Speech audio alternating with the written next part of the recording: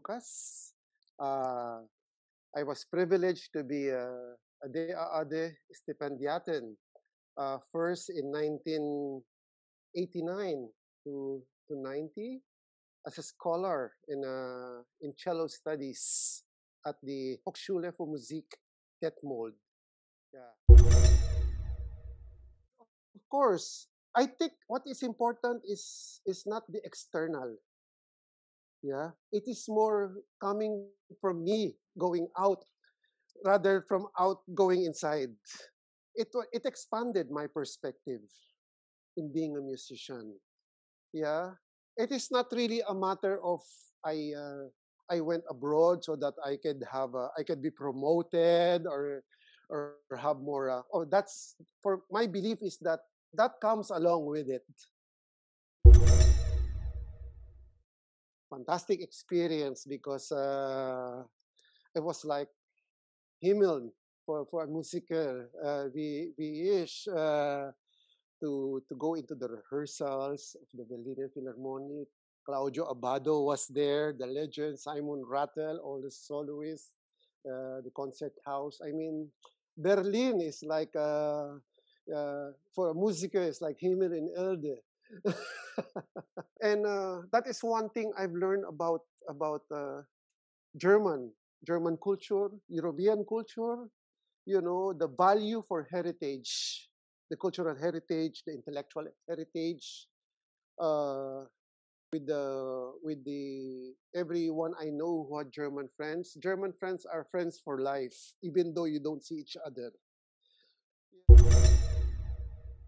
Well, of course, in my first trip in Germany, the, the memorable was the fall of the, the wall. You know, somebody living in the Philippines, it's very hard to understand what Berlin Wall means. Uh, it's very hard to understand the, the after effect of the World War, the proxy wars, etc., etc.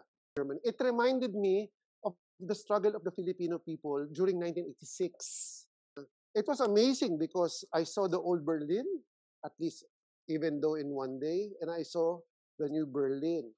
I saw the old Germany, and then I saw the. Since then, I always follow news in, in Europe. Yeah.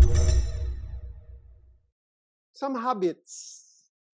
I brought home some habits. Uh, uh, some peculiar like like breakfast. You know the taste for uh, the jam, the fruit jam.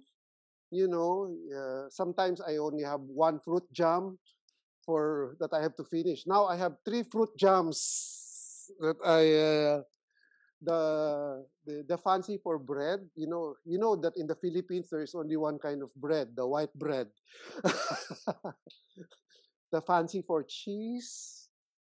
Yeah, I learned how to appreciate more coffee Vine. Yeah, yeah. So this.